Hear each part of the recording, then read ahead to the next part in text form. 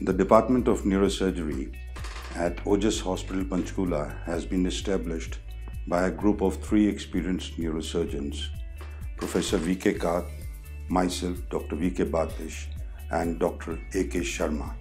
The facility has state of the art equipment, 32 slice CT, modular OTs, and facilities for cerebral DSA.